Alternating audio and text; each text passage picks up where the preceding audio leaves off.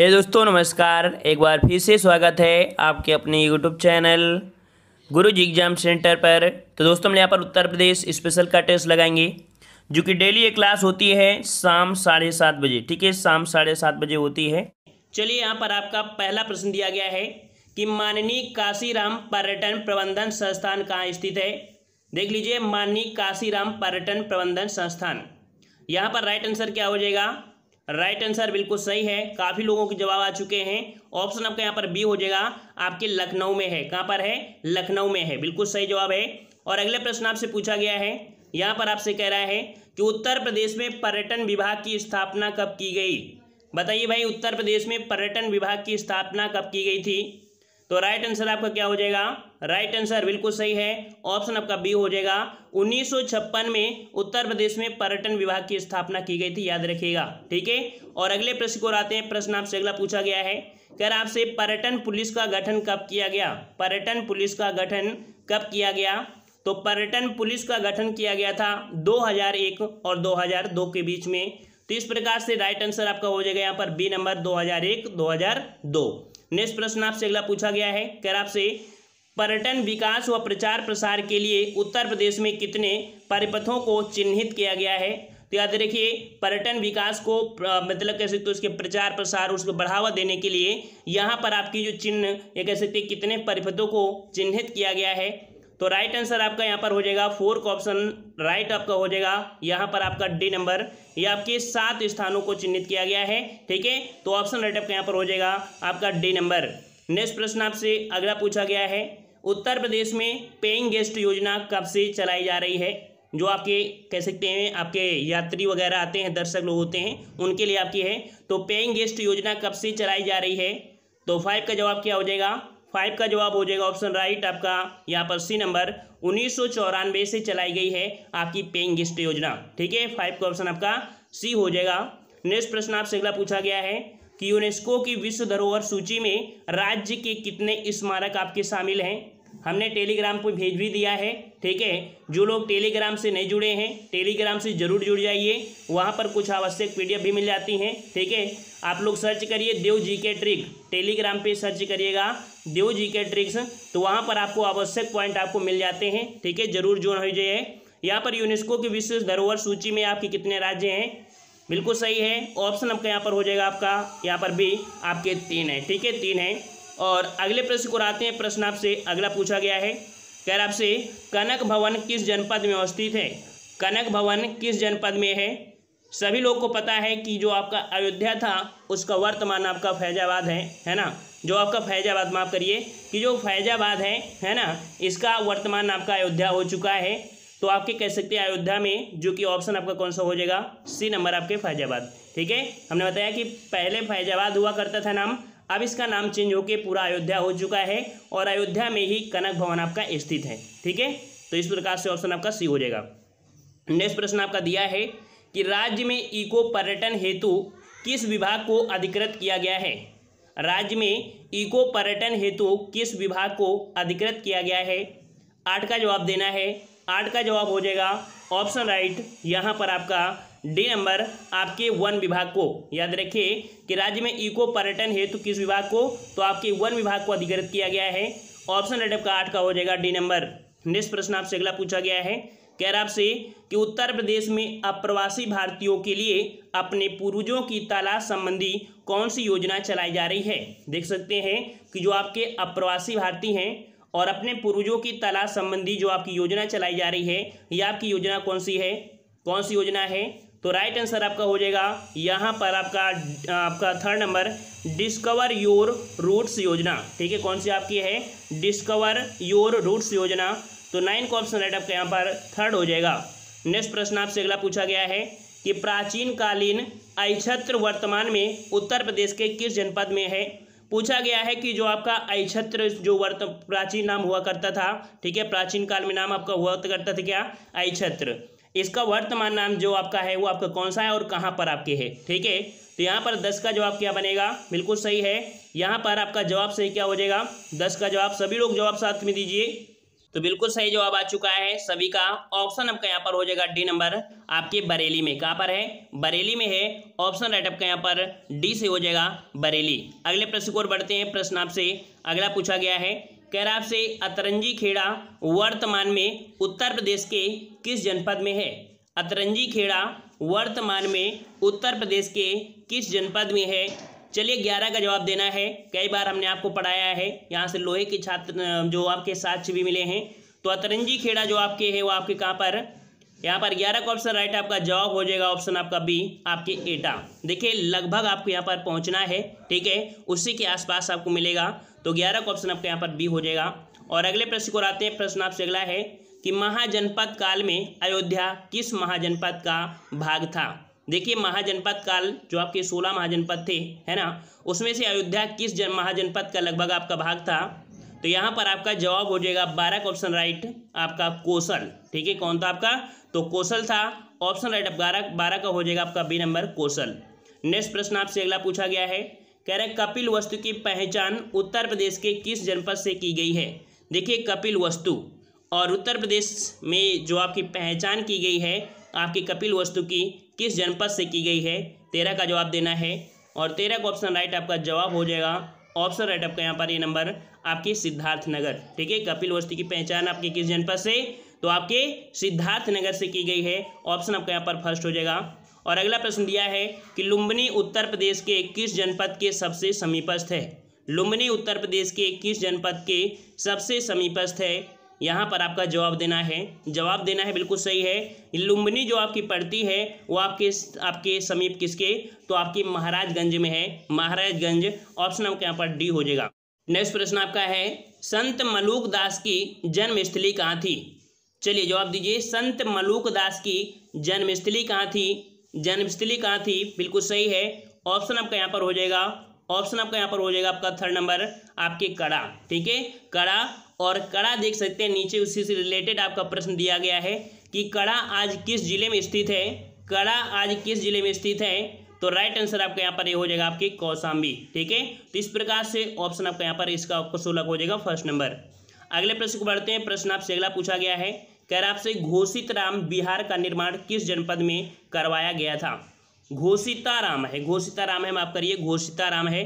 तो घोषिताराम बिहार का निर्माण किस जनपद में करवाया गया था? सत्रह का जवाब क्या बनेगा? सत्रह का जवाब बिल्कुल सही जवाब है। ऑप्शन आपका यहाँ पर हो जाएगा थर्ड नंबर, आपकी कौशाम्बी। ठीक है, कहाँ पर? आपके कौशाम्बी, ऑप्शन आपका थर्ड हो जाएगा। और अगला प्रश्न आपका दिया है कि जैन धर्म के प्रथम तीर्थकर का जन्म कहाँ हुआ था? जैन धर्म के प्रथम तीर्थकर का जो जन्म है, ठीक है, इनका जन्म कहाँ पर हुआ था? अठारह का जवाब देना है। चलिए, सही जवाब है। यहाँ पर अठारह का जवाब, लगभग सभी का जवाब आ चुका है।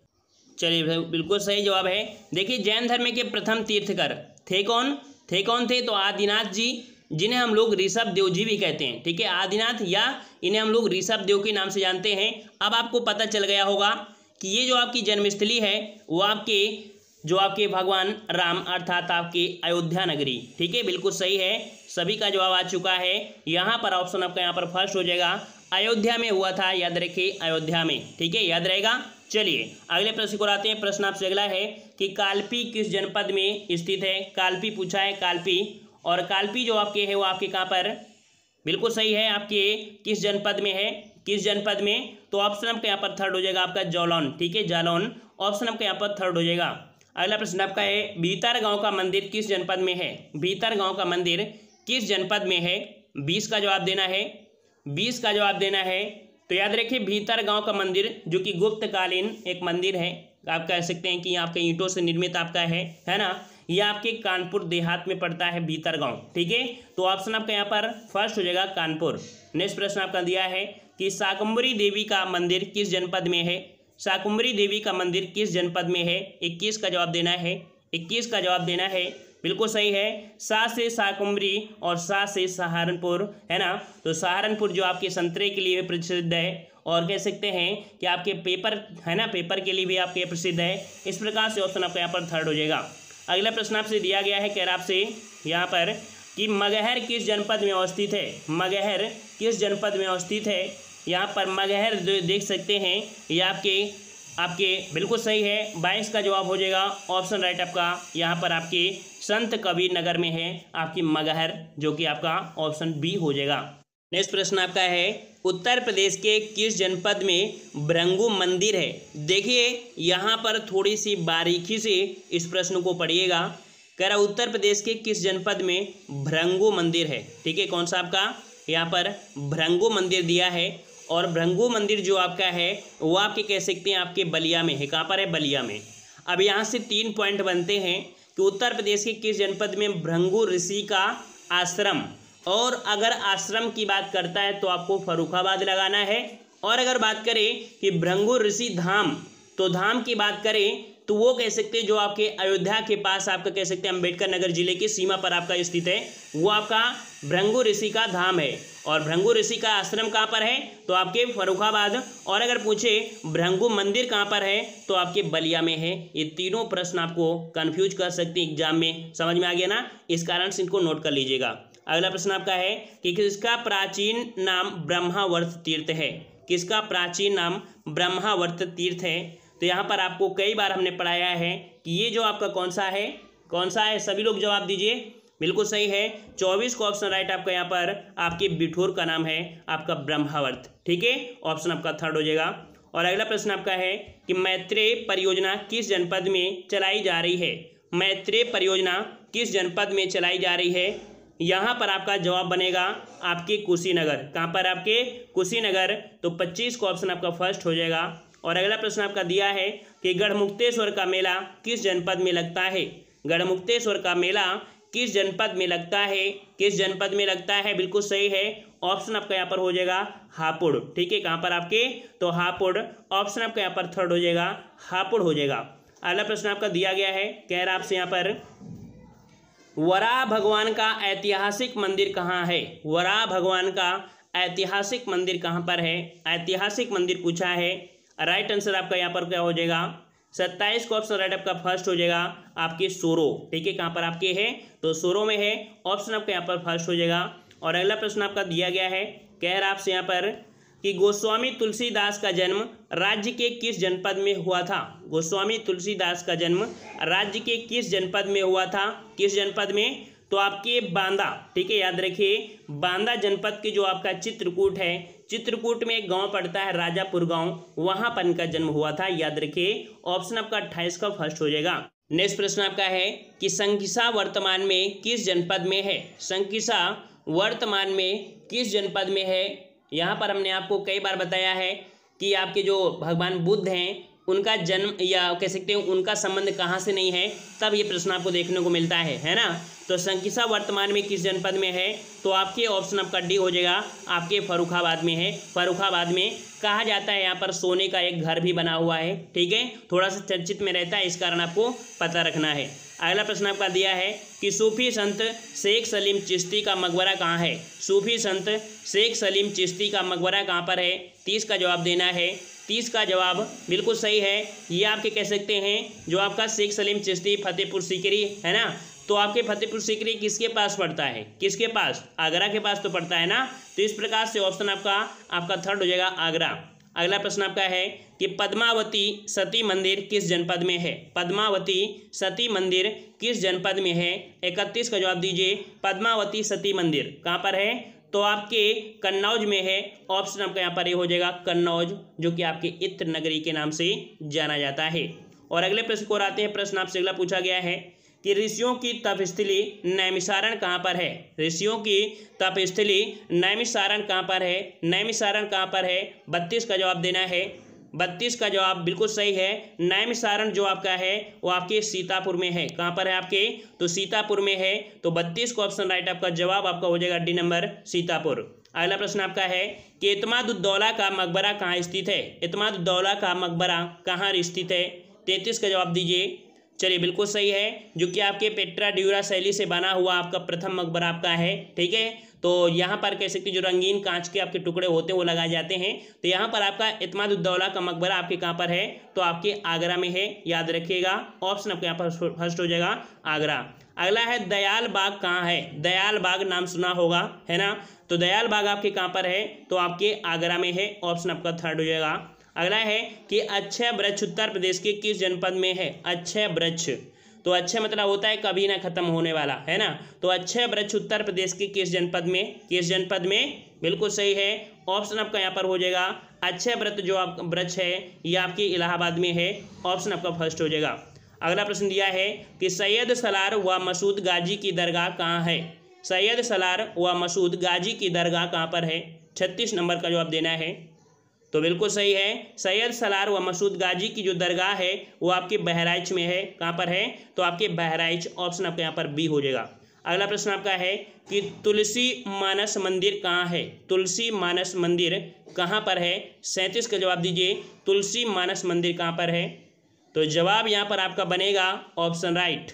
बिल्कुल सही है। सभी का जवाब बिल्कुल सही आ रहा है। तुलसी मानस मंदिर आपके है कहाँ पर? तो आपके वाराणसी में है। सैंतीस को ऑप्शन आपका थर्ड हो जाएगा।